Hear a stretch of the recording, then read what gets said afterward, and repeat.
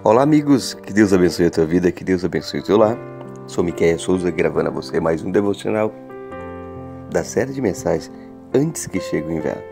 E o tema de hoje é respondendo a pergunta de um amigo ouvinte do canal, quando ele diz: Fiz um propósito com Deus e não cumpri. O que devo fazer agora? Veja só o relato dessa pessoa quando ele nos faz a pergunta. Alguns meses atrás, eu fiz um propósito com Deus de acordar todos os dias às três da manhã, durante um mês, para ter um momento de oração diante de Deus e conseguir alcançar uma bênção que tenho buscado de todo o coração. Ele segue com seu questionamento. O problema é que já falhei três vezes, não consegui acordar. O que faço agora? Será que Deus está bravo comigo? Não me abençoará por eu ter quebrado esse propósito? O que devo fazer? Meu amigo ouvinte, talvez também essa seja a tua dúvida, o teu questionamento acerca de propósito, acerca de votos. Essa dúvida desse amigo do canal é bem interessante e vai nos possibilitar falar um pouco sobre essa questão de fazer o propósito com Deus e sobre a seriedade deste assunto. Primeiro ponto que eu tenho que destacar acerca desse assunto no que se refere a propósito ou votos que fazemos diante de Deus, é bom lembrar as palavras do sábio quando ele diz: Melhor é que não votes do que votes e não cumpra. Eclesiastes 5 e 5. Isso porque a Bíblia é clara quando diz que devemos cumprir com a nossa palavra e sermos bem claros em nossas posições, ainda mais se tratando de votos com o próprio Deus. Em outra passagem, a Bíblia diz: Seja, porém, a tua palavra sim, sim, não, não. O que disto passar vem do maligno. Mateus 5,37. Diante dessas duas referências bíblicas que citamos, isso nos mostra que devemos pensar muito bem antes de fazer um propósito com Deus. Devemos avaliar com sabedoria a situação antes de assumir um compromisso com Ele. Votos não são moedas de trocas com os quais obrigamos a Deus a nos dar a bênção que necessitamos. Antes, votos são ferramentas de adoração a Deus e busca de maior proximidade com Ele. Por isso, deve ser visto com respeito e muita seriedade. Nos dias atuais, dias de pavor, de medo, de angústia, de pandemia, nós vemos muitas pessoas na ansiedade de buscar uma bênção de Deus e sem pensar muito se tem condições de cumprir determinado voto, vão fazendo um propósito impensadamente.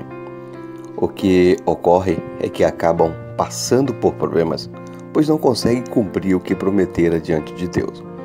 Nesse caso, melhor não fazer voto algum, a fazer e descumpri-lo. Eu tenho um amigo que, no calor de uma situação que passou, ele fez um propósito muito estranho. Sabe qual era o propósito dele?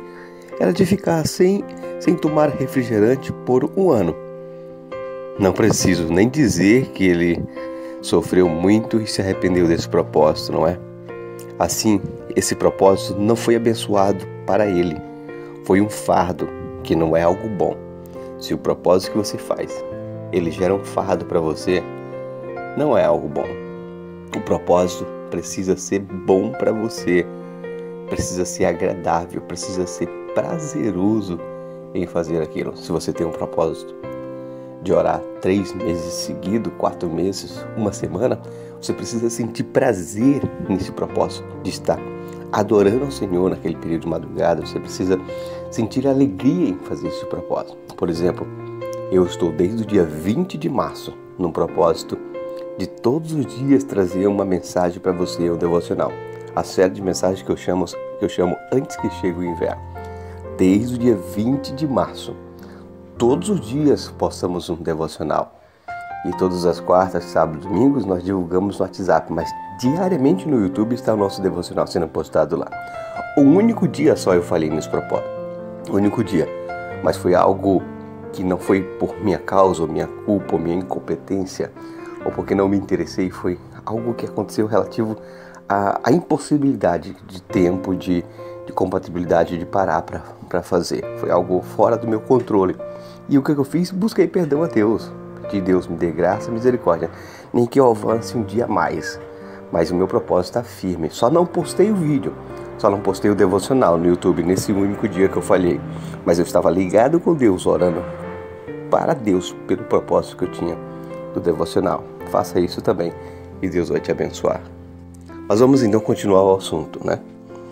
Não podemos negar que mesmo alguém que pensou bem em um voto que fez, como é o meu caso que eu falei do, da campanha da, dos devocionais antes que chegue o inverno, por algum motivo acaba quebrando nesse caso. Deve-se avaliar a intenção da quebra desse voto. Foi o meu caso. Não foi uma má intenção, não foi uma incompetência ou algo parecido. Foi algo que aconteceu que foge do meu controle. Mas eu pedi, busquei perdão e misericórdia a Deus. Devemos ver no seu coração se essa pessoa que já quebrou o seu propósito, por exemplo, esse amigo que me citou aqui, que quebrou o propósito três vezes, ele deve se perguntar: por que isso ocorreu? Será que foi desleixo da sua parte, amigo? Você ficou três dias sem fazer o teu propósito? Foi descuido teu? Foi irresponsabilidade tua? Ou foi o imprevisto? Por exemplo, o despertador não tocou ou coisa parecida? De qualquer forma, creio que a melhor forma é, de fazer diante de um propósito quebrado, você, amigo ouvinte que me fez essa pergunta, a melhor forma que você precisa fazer é pedir perdão a Deus e retomar o seu propósito com mais afinco, a fim de cumpri-lo diante de Deus. Se o seu propósito foi de 30 dias e você falhou três, acrescente mais três dias e siga em frente. Deus conhece o nosso coração e abençoará aqueles que tratam com temor e tremor. Se você falhou o teu propósito, foi por algo fora do, do, teu, do teu controle, do teu conhecimento, Busque perdão, misericórdia a Deus, peça a Ele para renovar e acrescente um dia mais à frente nesse propósito. Mas não quebre o seu propósito. Faça de tudo para manter ele firme. Agora, se se você falhou o seu propósito simplesmente por descuido, desleixo ou irresponsabilidade, ou você, vamos dar um exemplo, você fez um propósito de todos os dias orar das, das 23 horas às 0 horas das 11 da noite às, às 0 horas da, da noite. A última hora do dia. Você fez um propósito de orar sete dias. E no quinto, sexto ou no sétimo dia, você deixou de orar para assistir um filme, para assistir um jogo, ou sei lá, porque sentiu o corpo cansado e não resistiu à tentação do cansaço e não fez o teu propósito, aí foi um descuido.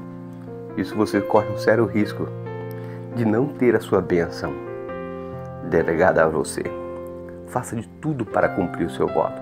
Faça de tudo para manter a sua palavra. Que a sua palavra seja sim, sim, não, não. Que da tua boca saia palavras fiéis e verdadeiras e cumpra aquilo que você prometeu. Se nós, como os homens falhos, gostamos de pessoas que nos prometem e cumprem, pessoas que falam a verdade e cumpram aquilo que falou, quanto mais a Deus, que é bom, que é justo, que é fiel. Amigo ouvinte, que Deus abençoe a tua vida, que Deus abençoe o teu lar, que Deus abençoe a tua casa. Um abraço do teu amigo Miquel Souza. Até o próximo devocional. Fica na paz. Você que não é inscrito no canal, se inscreva e compartilhe essa mensagem.